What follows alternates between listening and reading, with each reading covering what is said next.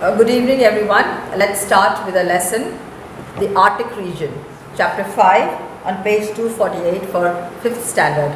Social studies for 5th standard, chapter 5, The Arctic region.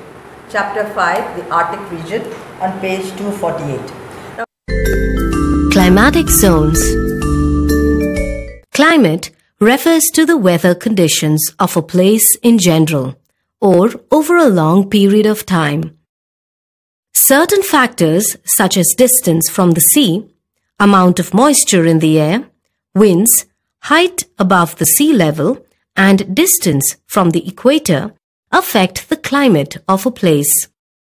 Based on the distance from the equator and the amount of heat it receives, the Earth is divided into three climatic zones. The torrid zone, the temperate zone, and the frigid zone. Today, let us learn a little more about them. The torrid zone, also known as the tropical zone or the tropics, extends from the Tropic of Cancer to the Tropic of Capricorn. The equator lies in the middle of this region and divides it into the North Torrid Zone and the South Torrid Zone. The North Torrid Zone lies between the equator and the Tropic of Cancer. The South Torrid Zone lies between the equator and the Tropic of Capricorn. It receives the vertical rays of the sun and hence remains hot. This heat helps in evaporation of water from the water bodies, which results in rain. Thus, the region is hot and humid throughout the year. It is home to tropical rainforests, grasslands, and hot deserts. The Sahara Desert, the Thar Desert, and the Atacama Desert are some of the deserts found in this zone. Singapore, Kuala Lumpur, Nairobi, Quito are some of the important cities in this zone. The temperate zone is located between the tropical and the frigid zones. There are two temperate zones, the North Temperate Zone and the South Temperate Zone. The North Temperate Zone lies between the Tropic of Cancer and the Arctic Circle. The South Temperate Zone lies between the Tropic of Capricorn and the Antarctic Circle. The sun does not shine directly over this zone. Thus, this region receives slanting rays of the sun and experiences moderate climate. It is home to many deciduous forests and temperate grasslands. Tokyo, New York, and London are some of the most populous cities found in this zone. The frigid zone, also known as the polar regions, is located between the poles and the temperate zones. There are two frigid zones, the North Frigid Zone and the South Frigid Zone. The North Frigid Zone lies between the North Pole and the Arctic Circle. The South Frigid Zone lies between the South Pole and the Antarctic Circle. This zone receives very little warmth from the sun's slanting rays and hence remains cold and dry throughout the year. It is home to vegetation such as grasses, lichens, and mosses. Anchorage, Reykjavik, Nuuk, and Verkhoyansk are some of the cities found in this zone. The Frigid Zone The Frigid Zone, also known as the polar regions, surrounds the North Pole and the South Pole of the Earth. There are two frigid zones, one in each hemisphere covering about 8.24% of the Earth's surface.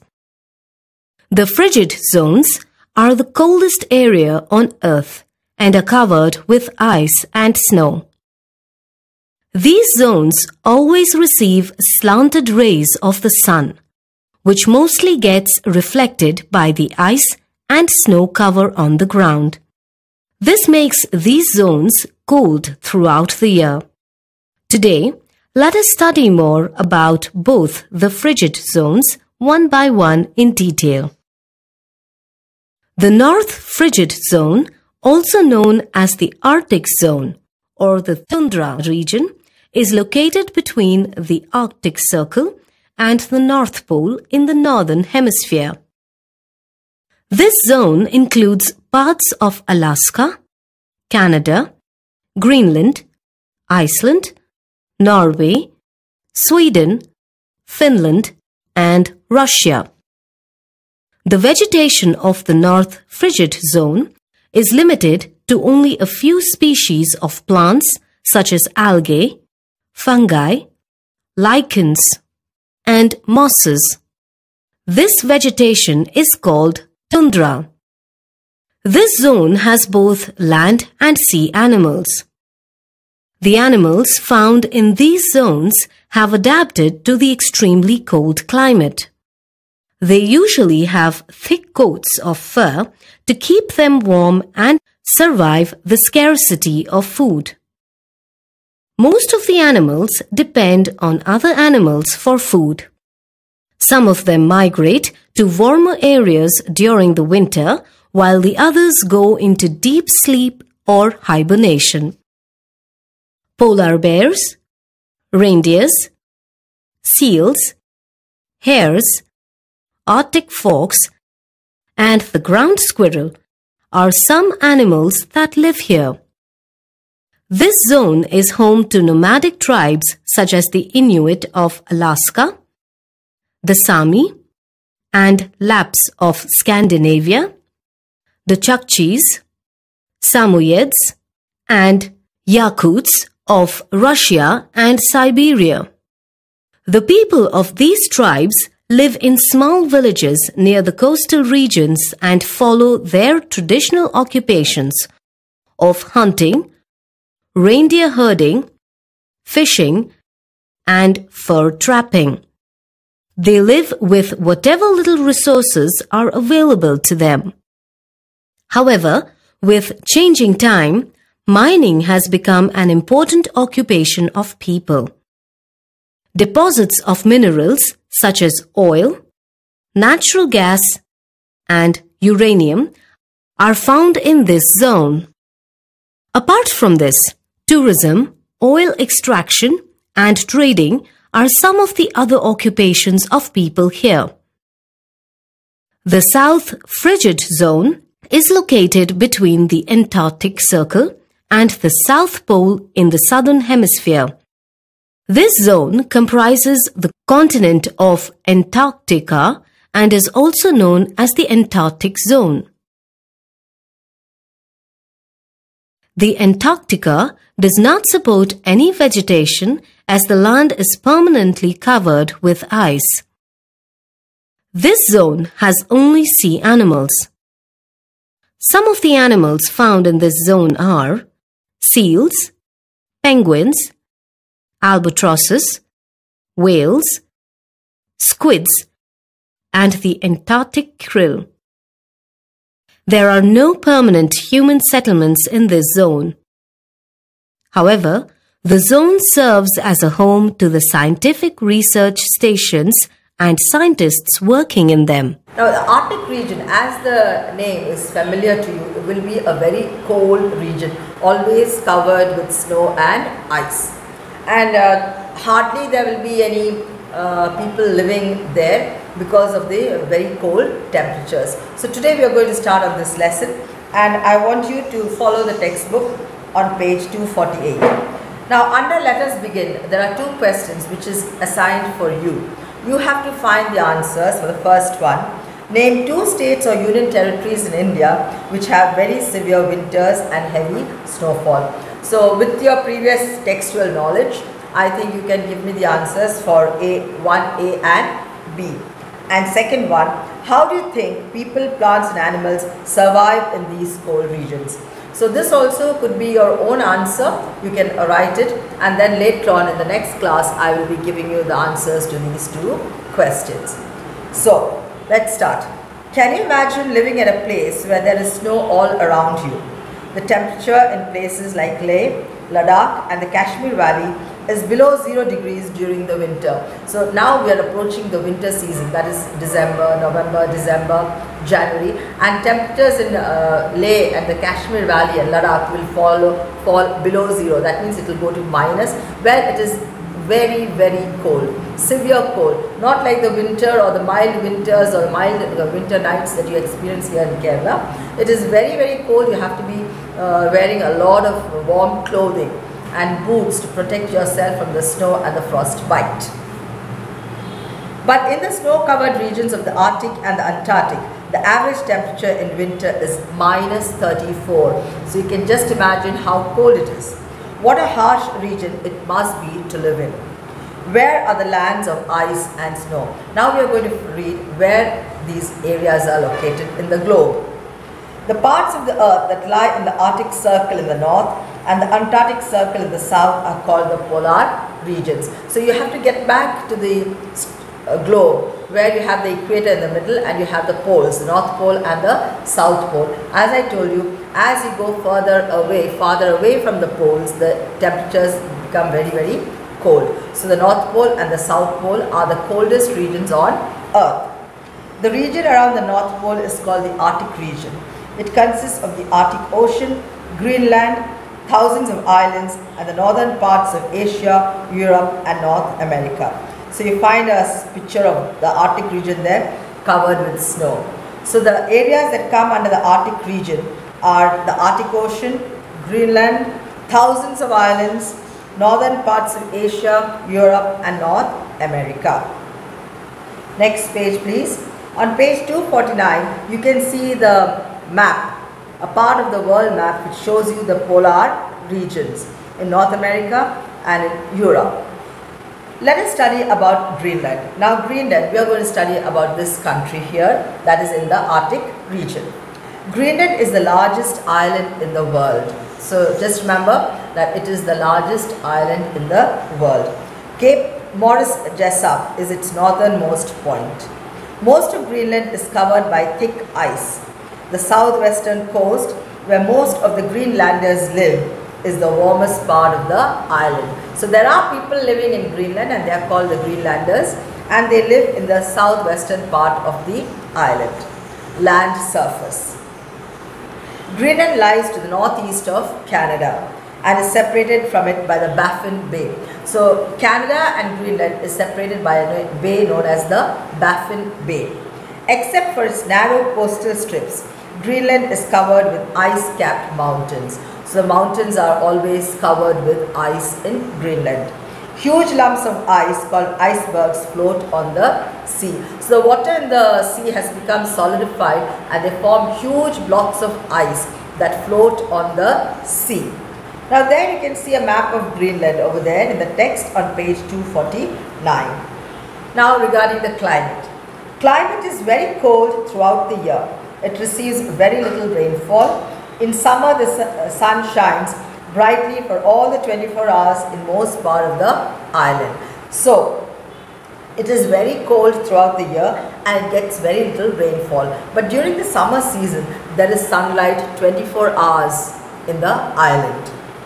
The Arctic region is often known as the land of the midnight sun because even at night 12 o'clock, it is sunlight. It is very bright and sunny. So the Arctic region is known as the land of the midnight sun. Next page please.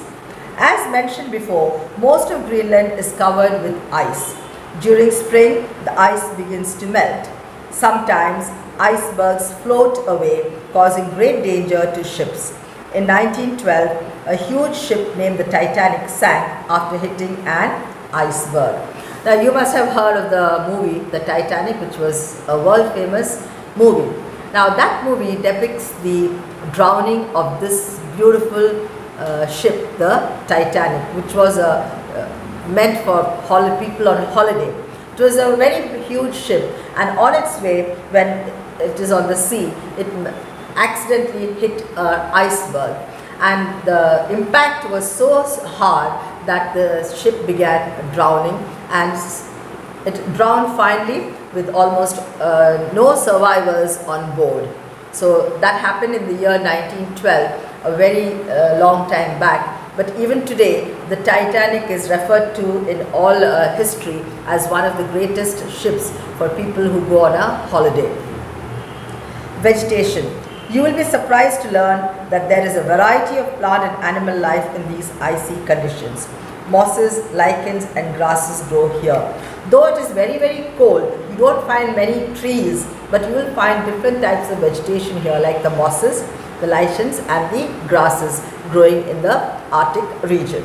Now coming to animal life, you can see the picture of a seal, a walrus and a polar bear. Animals such as caribous, you must have learned about caribou in the science lesson where it comes to migration. Migration, it was referred to there, caribou is a migratory animal. Animals such as caribous, musk oxen, polar bears, seals, walruses, whales and lemmings live here. A special breed of dogs called the huskies is reared here to draw sledges. Now sledges are some sort of a, you know, um, boat thing, uh, not exactly like a boat, it is uh, made of wood and uh, people uh, cannot walk on the snow. So they have these sledges tied to the neck of the huskies. Some two or three huskies together will pull a sledge. Like you know the caravan is being pulled by a uh, what do you say camel. The same way the sledges are being pulled by the huskies in this cold area that is the arctic region. So the huskies is a special breed of dogs that is made use to draw the sledges in the arctic region now next coming to the life of people on page 251 the original inhabitants of this land of this island are called Inuit. So Greenlanders are known as by Inuit. There are very few Inuits now. Most of them have mixed with the Europeans and are now known as Greenlanders. Like you have the tribal people here in our country and other countries, now the Greenlanders, previously known as the Inuits, now they have mixed with the European races and uh, now they are known as Greenlanders and not as Inuits anymore. Life is very hard on this island because of the harsh climate. The few Inuit who are left live in the northwest. Earlier, the Inuit people used harpoons to catch fish and seals. Now, a harpoon is like a javelin. It is a long rod, iron rod with a very sharp pointed end. Now, as soon as the Eskimo or the Inuit he sees a whale or a walrus, what he does, or a seal, what he does is he throws the harpoon, which uh, with uh, you know with a great strength and a proper uh, target, that it does hit the whale or the fish or the seal in such a manner that it goes right inside through the skin of this particular animal, and then it dies because of the impact and the hard um, throw and the injury, this animal dies and then it is taken by the Eskimo or the Inuit for his food. They would place a branch or stick in a hole in the ice and wait for hours for seals, walruses and fish to come up for air. If the stick is moved, the Inuit would quickly pierce the back of the animal with the harpoon. So this is also another method where they don't throw, they wait for the prey to come by keeping a branch or a stick in a hole in the ice and they wait for this walrus or seal or whichever aquatic animal to come out for air. Once the animal comes, they throw the harpoon and injure the animal. The injury is so bad that the animal dies and then they take it for their food. Now the Inuit have adopted modern ways of hunting. So this is a very traditional old method of hunting but now the Inuits or the Eskimos they have taken to a new way of hunting these animals. They hunt seals, walruses, bears, foxes and other animals for meat. The skin of the animals is used to make tents and kayaks or boats. So there are many uses. The food is the meat. Then the skin is used for making kayaks and tents and also boats. Blubber. Now there is one uh, thing called as blubber that is beneath the skin of these whales or walrus and that is used by them as fuel. Once the animal is killed and the skin is pulled out, the layer under the skin is known as blubber or fat and this fat is extracted and used as fuel by the Eskimos or the Inuit. Thus, every part of the animal is put to good use. Housing. Greenlanders live in houses made of earth or earth packed stone in winter. These houses are heated by blubber. So the blubber that is got from the walrus or the whale is used to make the house of the Inuit warm. The houses in which the Inuit live are called igloos. You all must be knowing an igloo is like a sem- uh, semicircle with a small tiny opening in the front. There are no windows because they don't need, it's very cold. These houses are made of blocks of ice cemented together with snow. So the house of the Inuits or the Eskimos are just blocks of ice, you know, like a hemisphere, half hemisphere, and they are cemented with snow. Animal hides are used to cover the floor. So the floor is covered with the skin of these animals that they kill for food. Let me stop here and I want you to, as homework, I want you to draw the map given on page 249 polar regions. Polar regions in the notebook and also I want you to get pictures of three animals that live in the Arctic region. Any three animals, get the picture and write the name under the picture. If you cannot get the picture, there's one option that I'm giving you. You can happily draw the picture and color and write the name under the picture. So options are there. If you can get the picture, well and good. But I know now uh, because of this COVID-19, many shops will be closed and it's difficult for you people to uh, get it. So then the other option would be to draw nice labeled pictures and write the name under the picture. Thank you.